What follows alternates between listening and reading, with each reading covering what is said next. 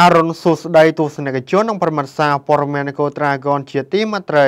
ថ្ងៃនេះថ្ងៃប្រហោះ11រោចខែអាសត់ឆ្នាំថោះបញ្ញស័កពុទ្ធសករាជ2567ត្រូវនៅថ្ងៃទី9ខែវិច្ឆិកា ឆ្នាំ2023ខ្ញុំបាទកសុភរិទ្ធសូមជម្រាបការព័ត៌មានដូចតទៅព័ត៌មានជាតិអគ្គនាយកដ្ឋានកយនិងរដ្ឋាភិបាលកម្ពុជាចេញសេចក្តីជូនដំណឹងស្តីពីការបើកវគ្គបណ្ដុះបណ្ដាលវិជ្ជាជីវៈនិងប្រឡងជ្រើសរើសជើងសាកយចំនួនទី10 ឧក្រិដ្ឋជនជនជាតិជប៉ុនចំនួន25នាក់ចំនួនចំនួន25នាក់ត្រូវបានបណ្តេញចេញពីកម្ពុជាក្រោយបង្ក្រាបបានពាក់ព័ន្ធបទល្មើសឆបោកតាមទូរស័ព្ទក្រោយបង្ក្រាបបានពាក់ព័ន្ធបទល្មើសឆបោកតាមទូរស័ព្ទ ឆាកប្រយុទ្ធក្មេងទំនើងលទ្ធផលចុងក្រោយ7នាក់ចូលគុកនិងម្នាក់របួសធ្ងន់បែកភ្នែកម្ខាងផងលលាចូលពេទ្យព័ត៌មានអន្តរជាតិប្រតិកម្មដំបូងរបស់ NATO ក្រោយរុស្ស៊ីដកខ្លួនចេញពីសន្ធិសញ្ញាគ្រប់គ្រងសភាវុធនៅអឺរ៉ុបកូរ៉េខាងត្បូងចាប់ផ្ដើមយុទ្ធនាការមេរោគលើក្រេសត្វសង្កោចរយៈពេល4សប្ដាហ៍ជ្រីជួព្រីមខេមូឌានាំចូលពីបរទេសមានគុណភាពខ្ពស់ប្រើប្រាស់សម្រាប់តុបតែងខាងក្នុង និងរចនាបថតាមបែបសម័យនិងបុរាណបង្កើនភាពល្អប្រណិតថ្លៃថ្នូរដល់គេហដ្ឋាននីមួយៗតាមការចង់បានជ្រីជួ PU របស់ក្រុមហ៊ុន Prim Cambodia គឺផលិតចេញពីវត្ថុធាតុដើមលំដាប់ខ្ពស់ដែលមានបច្ចេកវិទ្យាទំនើបនិងគុណភាពខ្ពស់ជួយអ្នកប្រើប្រាស់ជ្រើសរើសផលិតផលដែលត្រឹមត្រូវជាមួយនឹងតម្រូវការក្នុងការតុបតែងនិងរចនាបថសម្រាប់គេហដ្ឋាន តាមការចង់បានរបស់លោកអ្នកបើបងប្អូនត្រូវការសូមទំនាក់ទំនងតាមលេខទូរស័ព្ទ088 92 49 392និងមួយខ្សែទៀត012 46 56 92ព័ត៌មានជាតិ អគ្គនាយកដ្ឋានកយនឹងរដ្ឋកោកម្ពុជាចេញសេចក្តីជូនដំណឹងស្តីពីការបើកវគ្គបណ្ដុះបណ្ដាលវិជ្ជាជីវៈនិងប្រឡងជ្រើសរើសជើងសាកយចំនួនទី10យោងតាមប្រកាសលេខ115សហវប្រកចុះថ្ងៃទី15ខែកុម្ភៈឆ្នាំ2008ស្តីពីការបង្កើតនិងកិច្ចដំណើរការជើងសាកយអគ្គនាយកដ្ឋានកយនិងរដ្ឋកោកម្ពុជានៃក្រសួងសេដ្ឋកិច្ចនិងហិរញ្ញវត្ថុមានកិត្តិយសសូមជម្រាបជូនសិស្សនិស្សិតបុគ្គលិកក្រុមហ៊ុនធុរជននិងសាធារណជនឲ្យបានជ្រាបថាអគ្គនាយកដ្ឋានកយនិងរដ្ឋកោកម្ពុជានឹងរៀបចំបើកវគ្គបណ្ដុះបណ្ដាលវិជ្ជាជីវៈនិងប្រឡងជ្រើសរើសជើងសាកយចំនួនទី10តាមការបរិច្ឆេទនិងលក្ខខណ្ឌកំណត់ដោយខាងក្រោម1ការបរិច្ឆេទចុះឈ្មោះពីថ្ងៃទី6ខែវិច្ឆិកាដល់ថ្ងៃទី30ខែវិច្ឆិកាឆ្នាំ2023 2ការបរិច្ឆេទចូលរៀនថ្ងៃទី4ខែធ្នូឆ្នាំ2023 2023 3ការបរិច្ឆេទប្រឡងថ្ងៃទី6ខែមករា ឆ្នាំ2024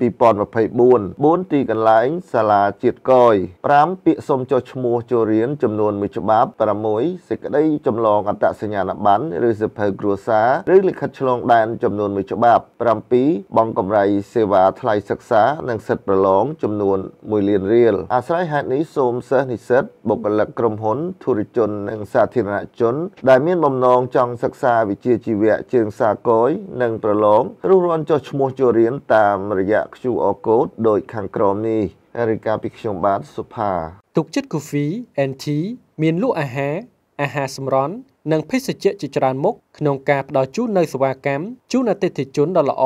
ជាមួយរសជាតិកាហ្វេ និងអាហារដ៏ឈ្ងុយឆ្ងាញ់ធ្វើឲ្យស្រស់ស្រាយពេញមួយថ្ងៃ ហាងទុកចិត្ត Coffee and Tea យើងខ្ញុំចាប់បើកពីម៉ោង7ព្រឹកដល់ម៉ោង7យប់រៀងរាល់ថ្ងៃច័ន្ទដល់ថ្ងៃសៅរ៍ សូមទំនាក់ទំនងលេខទូរស័ព្ទ093 597 168ព័ត៌មានជាតិអ ுக ្រិតជន ជនជាតិជប៉ុនចំនួន25នាក់ត្រូវបានបណ្តេញចេញពីកម្ពុជាក្រោយបង្ក្រាបបានពាក់ព័ន្ធបទល្មើសឆោបបោកតាមទូរស័ព្ទអគ្គស្នងការដ្ឋាននគរបាលជាតិនិងអគ្គនាយកដ្ឋានអន្តរប្រវេសន៍នៅរុស្ស៊ីថ្ងៃទី8ខែវិច្ឆិកាឆ្នាំ2023បានសហការបញ្ជូនជនសង្ស័យជនជាតិជប៉ុនចំនួន25នាក់និងវត្ថុតាងចេញពីកម្ពុជា here. ទៅកាន់ប្រទេសជប៉ុនដោយទីភ្នាក់ងារនគរបាលជប៉ុន បានធ្វើការបញ្ជូនយន្តហោះពិសេសព្រមទាំងមានកងកម្លាំងមកធ្វើការអមជនសង្ស័យដើម្បីយកអនុវត្តនីតិវិធីផ្ដន្ទាទោសជនសង្ស័យទាំងនេះត្រូវបានបង្ក្រាបកាលពីថ្ងៃទី11ខែកញ្ញាឆ្នាំ2023កន្លងទៅ នៅទីតាំងអគារមួយកន្លែងស្ថិតក្នុងសង្កាត់ជ្រោយចង្វាខណ្ឌជ្រោយចង្វារាជធានីភ្នំពេញពាក់ព័ន្ធនឹងការលួចលាក់ធ្វើសកម្មភាពឆោបបោកតាមប្រព័ន្ធទូរស័ព្ទទៅលើជនរងគ្រោះនៅប្រទេសជប៉ុនគួរបញ្ជាក់ថាសមត្ថកិច្ចកម្ពុជាក៏បានអំពាវនាវដាស់តឿននិងក្រើនរំលឹកដល់ប្រជាពលរដ្ឋដែលជាម្ចាស់អគារជួលឬទីតាំងជួលនានាឲ្យមានការយកចិត្តទុកដាក់ខ្ពស់ចំពោះការជួលទីតាំងរបស់ខ្លួនទៅឲ្យជនបរទេសដោយត្រូវសាកសួរព័ត៌មានអំពីគោលបំណងនៃការជួល និងត្រូវពិនិត្យឲ្យបានច្បាស់លាស់ជៀសវាងនាំឲ្យខ្លួនត្រូវបានប្រើប្រាស់ធ្វើសកម្មភាពបទល្មើស ឬខ្លួនផ្ទាល់អាចคล้ายទៅជា អ្នកសម្រួលផ្ដល់ទីតាំងដល់ប្រព្រឹត្តបទល្មើសផងដែររាយការណ៍ដោយខ្ញុំបាទពិសិដ្ឋផលិតផលថ្មីឈុត Johnson ជីងជ័ររួមជាមួយឈុត Skin Care របស់ក្រុមហ៊ុន Lavi Cosmetic Co Ltd បច្ចេកទេសថ្មីពីប្រទេសកូរ៉េសម្រាប់ព្យាបាលមុខជាំជួយឲ្យផ្ទៃមុខពីស្រអាប់ឡើងពណ៌ស៊ីជម្ពូប្រសិទ្ធភាពតាំងពីប្រើលើកដំបូងចង់បានភាពស្រស់ស្អាតកុំភ្លេចជាមួយក្រុមហ៊ុន Lavi នឹងធ្វើឲ្យលោកអ្នកស្អាតជានិរន្តរ៍ទូរស័ព្ទលេខ077 744 007 096 66 68 149ព័ត៌មានជាតិឆាកប្រយុទ្ធក្រុមក្មេងទំនើងផលិតផលចុងក្រោយ7នាក់ចូលគុកនិងម្នាក់រងរបួសធ្ងន់បែកភ្នែកម្ខាងផុងរលីក្បាលចូលពេទ្យពួកក្មេងទំនើងពីរក្រុមបានប្រយុទ្ធវាយតប់គ្នាយ៉ាងកំរោល បណ្ដាលឲ្យម្នាក់របួសធ្ងន់ធ្ងរហើយសមត្ថកិច្ចខាត់ខ្លួនភាគីទាំងពីរបានចំនួន7នាក់កាលពីវេលារំលងអត្រាឈានចូលថ្ងៃទី8ខែវិច្ឆិកានៅចំណុចភូមិកម្មករសង្កាត់ស្វាយប៉ោក្រុងបាត់ដំបងលោកឈឿងកំសុងស្នងការរងទទួលការិយាល័យព្រមត្តនកម្រិតស្រាលបានឲ្យដឹងថាក្រុមក្មេងទំនើងទាំងពីរក្រុមនេះបានដេញវាយតប់គ្នាយ៉ាងកំរោលហើយរំលងបានមួយថ្ងៃទើបកម្លាំងសមត្ថកិច្ចលោកសហការជាមួយកម្លាំងអធិការស្រុកផងស្រាវជ្រាវរហូតខាត់ខ្លួនភាគីទាំងពីរបានចំនួន7នាក់តែមានម្នាក់រងរបួសបែកភ្នែកម្ខាងនិងផុងលលីក្បាលយោងតាមរបាយការណ៍ការិយាល័យព្រំប្រទានកម្រិតស្រាលបានឲ្យដឹងថាជនទំនើងទាំងពីរក្រុមដែលត្រូវបានឃាត់ខ្លួនមានក្រុមទី1មួយឈ្មោះថាវ៉ាន់ឈុយអាយុ18ឆ្នាំ2ឈ្មោះច័ន្ទរតនាអាយុ16ឆ្នាំ3ឈ្មោះហុងលឹកអាយុ16ឆ្នាំ4ឈ្មោះច័ន្ទរដ្ឋាអាយុ17ឆ្នាំ ដោយឡែកក្រុមទី2មួយឈ្មោះសយវិសិនអាយុ17ឆ្នាំ2ឈ្មោះលូនប៊ុនលៀបអាយុ17ឆ្នាំ និង3ឈ្មោះសំណាងមនីអាយុ17ឆ្នាំរីឯម្នាក់ដែលរងរបួសធ្ងន់ឈ្មោះម៉ាធឿនអាយុ18ឆ្នាំ ជាភាគីក្រុមទី1រងរបួសបែកភ្នែកខាងឆ្វេងនិងផុងរលាកក្បាលដេ40 ធ្នេបើយោងតាមរបាយការណ៍ដដាលជនអន្តពាលទាំងពីរក្រុមនេះបានផ្ទុះហិង្សាជាមួយគ្នា កាលពីយប់ថ្ងៃទី7ខែវិច្ឆិកានៅចំណុចភូមិកម្មករសង្កាត់ស្វាយប៉ោ ដោយផ្ដើមចេញពីជនក្រុមទី1ជិះម៉ូតូដេញវាយនិងជេរក្រុមទី2លោកក្រោយមកក៏ផ្ទុះហិង្សាធ្ងន់ធ្ងរតែម្ដង លោកឈឿងកំសុងបានប្រាប់ថាដំបូងក្រុមទី1ជិះម៉ូតូតាមជេរតាមវាយក្រុមទី2លោកក្រោយមកក្រុមទី2រៀបអន្ទាក់ដាក់វិញ ហើយក្រុមទី1បានដេញតាមវាយម្ដងទៀតក៏ត្រូវក្រុមទី2ប្រើដុំថ្មព្រួតគ្នាគប់ពេញទំហឹងរហូតធ្វើឲ្យក្រុមទី1រងរបួសធ្ងន់ម្នាក់ពេលនេះស្នងការបញ្ជាឲ្យឃាត់ខ្លួនភាគីទាំងពីរចំនួន7នាក់ដើម្បីកសាងសំណុំរឿងបញ្ជូនទៅតុលាការរីឯម្នាក់រងរបួសធ្ងន់កំពុងសង្គ្រោះនៅមន្ទីរពេទ្យរាយការណ៍ពីខ្ញុំបាទសុផាផ្ទះវត្តគោមានសេវាកម្មដូចជាបន្ទប់ស្នាក់នៅទំនើបបម្រើសេវាម្ហូបពេលព្រឹកពេលថ្ងៃត្រង់ពេលល្ងាចម្ហូបខ្មែរអាស៊ីនិងអឺរ៉ុបមានអាំងហែលទឹកម៉ាសានិងមានរៀបចំកម្មវិធីអាហារពិសេសសម្រាប់គូស្វាមីភរិយាថ្មីក្រេបទឹកឃ្មុំទទួលទានស្រាសម្បាញនាថ្ងៃរំលឹកនៅវាលស្រែ បដិសន្ធារកិច្ចគ្រប់អតិថិជនចម្រុះជាតិសាសន៍មានអាសយដ្ឋានផ្ទះលេខ221ភូមិបុរាណនៃភូមិវត្តគោក្រុងខេត្តបាត់ដំបង លេខទូរស័ព្ទ017 555 377ព័ត៌មានអន្តរជាតិប្រតិកម្មដំបូងរបស់ NATO ក្រោយរុស្ស៊ីដកខ្លួនចេញពីសន្ធិសញ្ញាគ្រប់គ្រងសភាវុធនៅអឺរ៉ុបសារព័ត៌មាន Reuters នៅថ្ងៃពុធទី8ខែវិច្ឆិកាឆ្នាំ2023សម្ព័ន្ធមិត្ត NATO បានថ្កោលទោសរុស្ស៊ីដែលបានសម្រេចចិត្តដកខ្លួនជាផ្លូវការចេញពីសន្ធិសញ្ញាគ្រប់គ្រងសភាវុធនៅអឺរ៉ុបហៅកាត់ថា